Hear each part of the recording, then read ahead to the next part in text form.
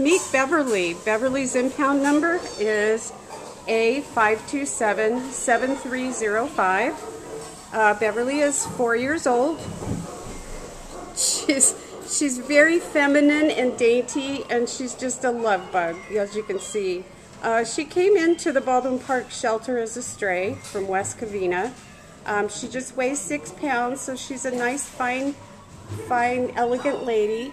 Um, as you can see, she's really friendly. We would love to get her out of the shelter because um, right now they're inundated with kittens, and so it's not really safe right here. They have to clear out every day, and so we're trying to get them get them out of here as quickly as possible. Um, she's deserving of a home.